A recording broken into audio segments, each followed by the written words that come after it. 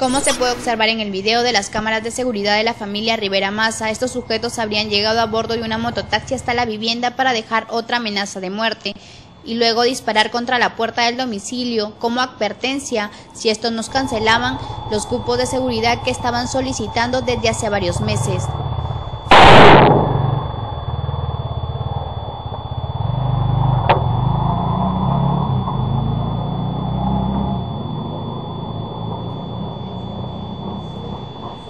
Los sujetos estarían siendo dirigidos, según fuentes policiales, por un reo del penal de Río Seco. Ellos fueron identificados como Wilfredo Ramos Mena, de 20 años, alias Bicho, y Yerich Santos Saavedra Novillo, de 19 años, alias J, quienes fueron capturados en el asentamiento humano Chiclayito Castilla.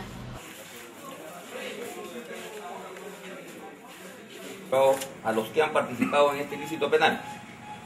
Alexander Wilfredo Ramos Mena, de 20 años, alias Bicho, natural de Piura, y a José Santos Savera Novillo, de 19 años, era alias J. Quiero precisar que esta, este hecho este, nace de una información de un interno que se encuentra en el penal de Río Seco, el que da las instrucciones del caso a estos dos delincuentes. Estamos tras la captura del, del personaje que baja, como ustedes lo van a poder apreciar, que baja del, mototaxi y efectúa el disparo. Se pudo conocer que uno de los sujetos habría sido identificado por las víctimas, pues no sería la primera vez que estos realizaban ese tipo de extorsiones dentro del distrito de Castilla.